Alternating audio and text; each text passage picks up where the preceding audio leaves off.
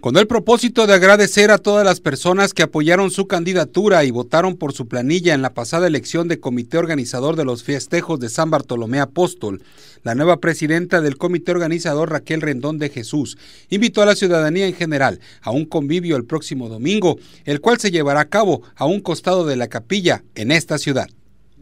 Pues esta es una cordial invitación a todas las personas que me acompañaron y estuvieron conmigo este, en las votaciones, visité muchos domicilios, muchas personas que ahorita me es imposible igual pasar casa por, por casa e invitarlos.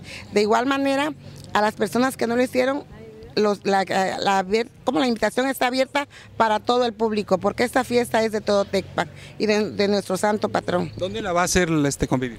Pues mire, esta fiesta, como ya sabemos, tradicionalmente se hace a un costado de la capilla. Sí, habrá después de la, de la misa de 12 a la 1 empezará el convivio. Este, partiremos los sagrados alimentos con su refresquito y las personas que quieran llevar sus algo más, pues bien aceptado. Eh, esto será entonces el próximo domingo después de la misa a la una de la tarde. A la una de la tarde quiero hacer un, este, ¿cómo se llama? Pues aclaratorio que este, este convivio no va a ser este parte del comité, los gastos no van a partir del comité. Esto empezamos de cero gracias al apoyo de familiares, amigos, vecinos.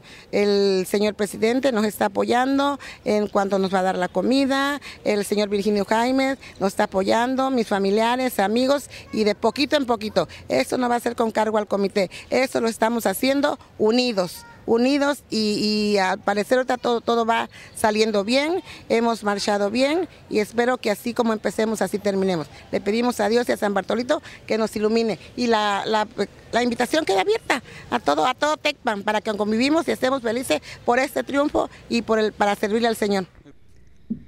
La invitación dijo la presidenta del comité, fue hecha a la población en general con el fin de estrechar lazos de amistad y cooperación entre los habitantes de Tecpan para juntos llevar a buen fin los festejos al santo patrón San Bartolomé Apóstol.